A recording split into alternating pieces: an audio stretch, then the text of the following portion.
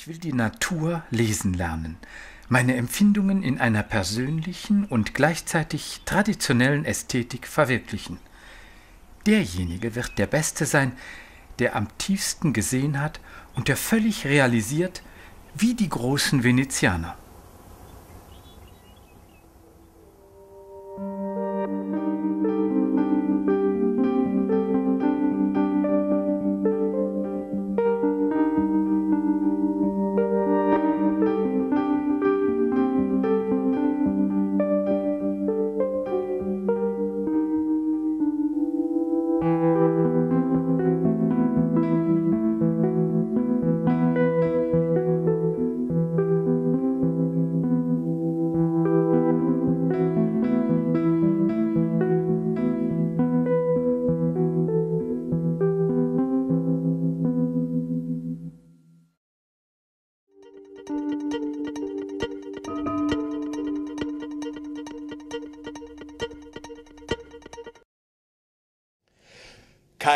Sonderlich dynamische Stadt ist zur damaligen Zeit Aix-en-Provence. Viele zeitgenössische Beobachter beklagen die herrschende Tristesse. In einer bäuerlich gebliebenen Stadt, die zögert, sich dem wirtschaftlichen Fortschritt anzuschließen, ist Paul aufgewachsen. Zunächst wohnt die Familie Cézanne in den kommenden Jahren über dem Hutgeschäft am Cours Mirabeau. Auch wird hier Pauls zwei Jahre jüngere Schwester Marie unehelich geboren. Der Vater Louis Auguste ist ein erfolgreicher Geschäftsmann. Er übernimmt ein Bankhaus, das sich schnell und gut etabliert. In dieser Zeit heiratet Louis Auguste Pauls Mutter. Als Nachzögling wird Pauls zweite Schwester Rose geboren. Paul verbringt die letzten sechs Jahre seiner Schulzeit bis 1858 im Collège Bourbon. Hier freundet er sich mit Émile Zola an, der fortan sein engster Freund ist. Im Sommer baden und angeln sie mit anderen Freunden an den Ufern der Arc, Anfang des letzten Schuljahres muss Emile Solar nach Paris ziehen. Paul verliert in Aix seinen besten Freund im Alltag. Mit Briefen pflegen sie ihre Freundschaft vorerst weiter. Ich würde dich gerne während der Ferien sehen, und dann werden wir alle Pläne ausführen, die wir uns ausgedacht haben. Ich brenne auf den Augenblick, da ich voll Mut und ungerührt mich stürze in die Frische, des Ark, zu fassen die Fische, die der Zufall herbeiführt. Leb wohl, Sola, leb wohl. Während Emile in Paris weiß, was er werden will, nämlich Schriftsteller und Journalist, ist sich Paul über seine Zukunft im Unklaren. Noch vor seinem Abitur meldet er sich zu einem Zeichenkurs im Exer Museum an. Sich dem Vater beugend, schreibt er sich nach dem Abitur zum Jurastudium an der Exer Universität ein. Weh nur, ich schlug des Rechts gewundene Pfade ein. Ich schlug, ist nicht das, man zwang mich, sie zu wählen. Des Rechts, des grausamen Rechts verknöchertes Gebein wird jetzt drei Jahre lang mein junges Leben quälen. Louis Auguste setzt alles daran, Paul davon abzuhalten, Maler zu werden. Jedoch ein Jahr vor seinem Jura-Examen exmatrikuliert sich Paul an der Universität. Du willst deinen Vater bitten, dich nach Paris gehen zu lassen, um Maler zu werden. Du vernachlässigst dein Rechtsstudium, gehst ins Museum, die Malerei ist die einzige Arbeit, die du gelten lässt soll ich es dir sagen, es fehlt dir an Charakter. Entweder oder, sei ein wahrer Rechtsanwalt oder ein veritabler Künstler. Aber bleibe nicht ein namenloser, in von Farbe beschmutzter Robe. Louis Auguste zwingt Paul in das Bankhaus einzutreten, in der Hoffnung, dass er es später übernehmen wird. Gleichzeitig gewährt er ihm den weiteren Besuch der Zeichenschule. Bestärkt durch Solas Briefe sträubt sich Paul aber immer mehr, den Bankberuf auszuüben. In dieser Zeit ist er wie ein Blatt im Wind. Mal ist er Kämpfernatur, mal sucht er den Weg des geringsten Widerstandes.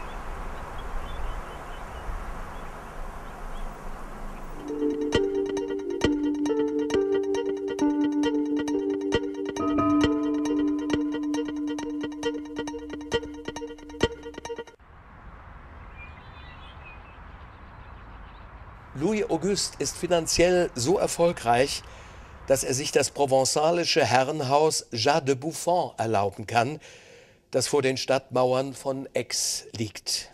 Anfangs wird es als Sommersitz genutzt. Der bauliche Zustand des Hauses erlaubt es nur, im ersten Stock zu wohnen. Im Erdgeschoss darf Paul sich als Maler betätigen und Louis Auguste gestattet es seinem Sohn, direkt auf die verputzten Wände des großen Salons zu malen.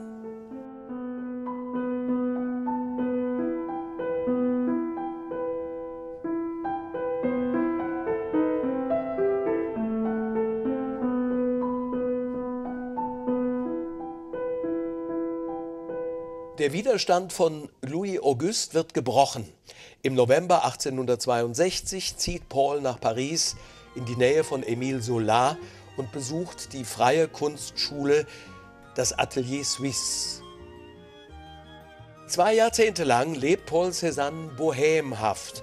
Er findet jedoch immer wieder ins Jas de Buffon zurück. Er verkehrt mit den Impressionisten, vor allem mit Renoir und Monet. Pissarro wird in dieser Zeit sein väterlicher Lehrmeister.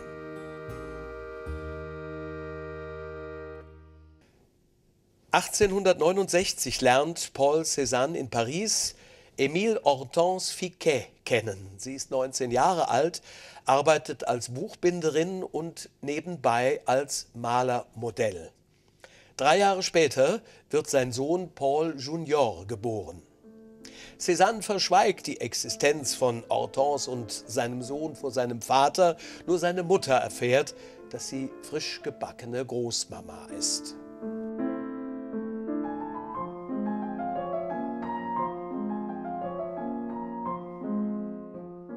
Paul bittet Emile Sola, ihn finanziell zu unterstützen, was Emile auch tut. Zeitweise lebt Paul mit Hortense und seinem Sohn in L'Estac bei Marseille oder in Gardanne südlich von Aix. Hier versteckt er sie immer noch vor seinem Vater. Nachmittags fährt er dann nach Aix zu seinen Eltern und kehrt am nächsten Morgen wieder nach Hause zurück.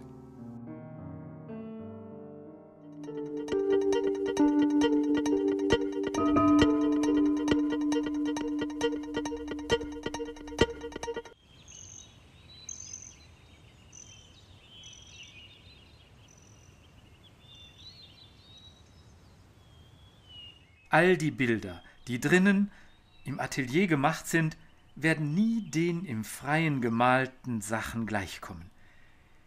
Wenn man Freilichtszenen darstellt, sind die Kontraste zwischen den Figuren und dem Gelände ganz erstaunlich, und die Landschaft ist wundervoll.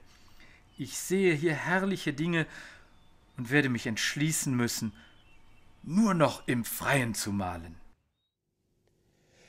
Das Jahr 1886 ist für Paul Cézanne von drei wichtigen Ereignissen geprägt. Er ist nun 47 Jahre alt. Das erste Ereignis, Ende März schickt Émile Zola ein druckfrisches Exemplar von seinem neuen Roman L'œuvre. Es handelt von einem hoffnungsvollen Maler, der nur Misserfolge hat und sich das Leben nimmt. Paul meint in diesem Roman sich wiederzuerkennen. Er schreibt am 4. April 1886 zurück. Mein lieber Emil, ich erhielt soeben L'Oeuvre. Ich danke dem Autor für diesen gütigen Beweis seines Gedenkens und bitte ihn, mir zu gestatten, ihm in Erinnerung an die vergangenen Jahre die Hand zu drücken, ganz der deine, unter dem Impuls der verflossenen Zeiten. Paul Cézanne in Gardan, Kreis Aix.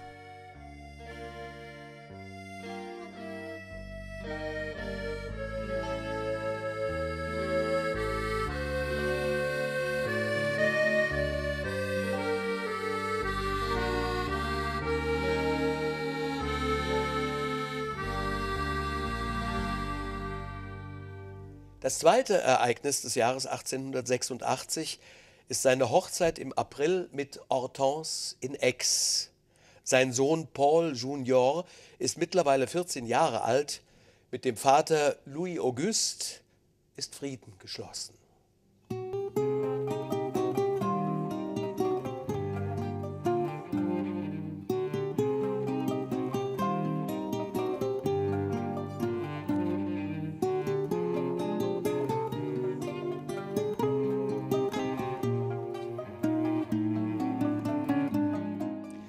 Das dritte Ereignis des Jahres 1886 ist der Tod von Louis Auguste. Die Hinterlassenschaft beträgt 150.000 Francs, die Paul sich mit seinen Geschwistern teilen muss. Damit haben seine finanziellen Probleme ein Ende gefunden und er ist von einer großen Last befreit.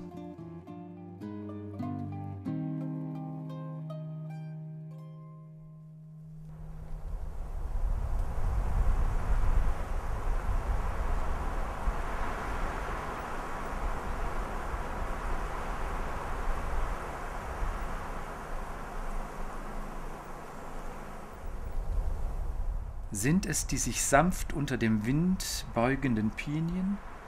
Sind es die dürren Schluchten, die übereinander aufgetürmten Felsen oder die malerischen Landschaften der Provence, die mich dorthin ziehen? Ich weiß es nicht. Doch sagen meine Träume, dass ein schroffer Felsen einem neu getünchten Haus vorzuziehen ist und eine unverdorbene Landschaft der gequälten oder zurechtgemachten Natur.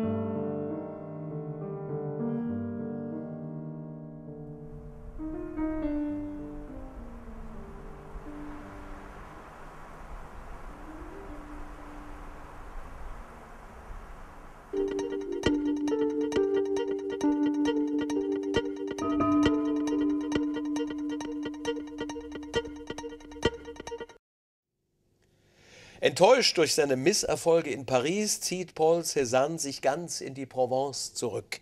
Er lebt jetzt überwiegend bei seiner Mutter und seiner Schwester Marie im Jardin de Buffon. Hortense und sein Sohn leben in Paris. Wenn das Wetter es zulässt, arbeitet er in der Natur, ansonsten in seinem Atelier. Paul Cézanne ist in der Kunstszene immer noch ein unbekannter Maler.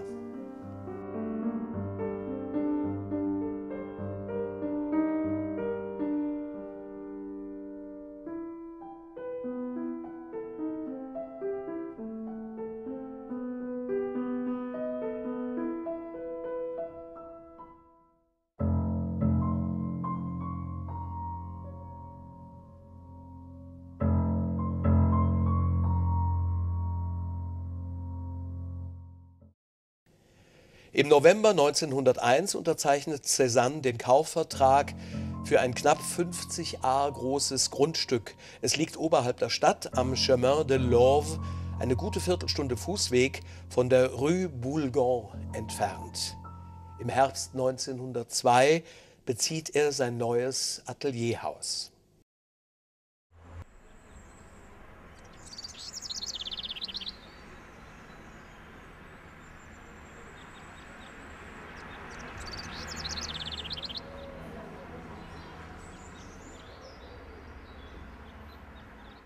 Hier ist mein Atelier. Niemand außer mir darf es betreten. Da Sie aber ein Freund sind, wollen wir zusammen hineingehen.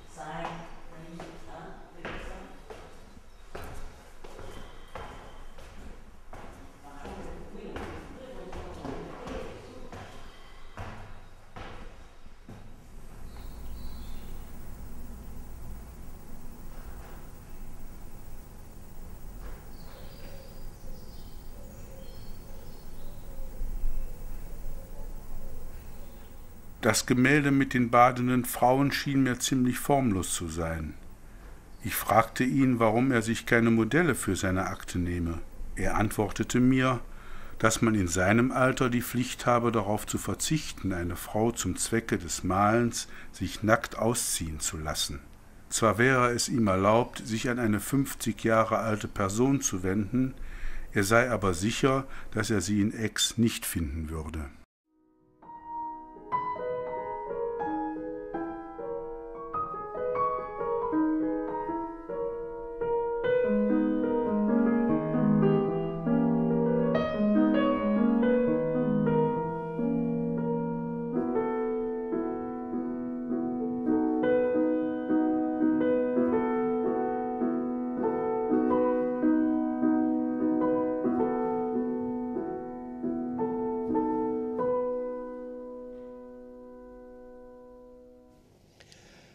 Auf dem höchsten Punkt des Louvre, hinter seinem Atelier, entdeckt Paul Cézanne für sich den Blick auf die Landschaft um das Gebirge Montagne Sainte-Victoire.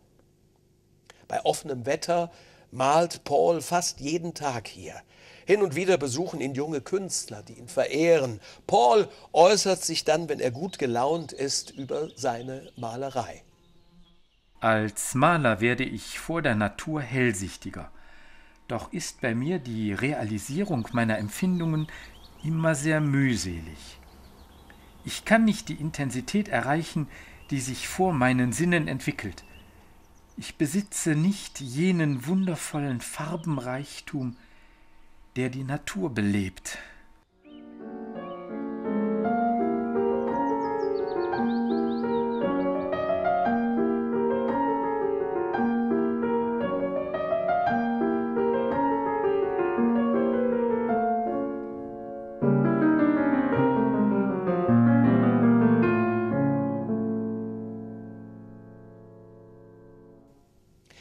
Im Juli 1906 setzt ein ungewöhnlich heißer Sommer ein. Kontakt hat Paul nur noch zu seiner Haushälterin Madame Bremont und seinem Gärtner Monsieur Vallier. Sein Sohn, jetzt 34 Jahre alt, ist sein wichtigster Korrespondenzpartner. Es ist zwei Uhr nachmittags. Die Hitze hat wieder begonnen, sie ist schauderhaft. Ich warte bis vier Uhr, dann kommt der Wagen und fährt mich zum Fluss. Dort ist es ein wenig kühl. Gestern fand ich es sehr angenehm dort und begann ein Aquarell. Mein lieber Paul, ich habe nichts anderes zu tun, als zu malen. Am Montag, dem 15. Oktober 1906, begibt Paul Cézanne sich morgens nach einer vorbeigezogenen Regenfront auf zum Motiv. Fremde finden ihn am Spätnachmittag ohnmächtig und durchnässt dort liegen. Sie transportieren ihn zurück in die Rue Boulgon. Noch kurz vor seinem Tod schreibt Paul einen Brief an seinen Farbenhändler. Monsieur, es sind nun schon acht Tage vergangen, seit ich Sie um zehn Tuben gebrannten Lack sieben gebeten habe und ich erhielt noch keine Antwort. Was geht denn da vor? Eine Antwort bitte, und zwar schleunigst. Hochachtungsvoll, Paul Cézanne.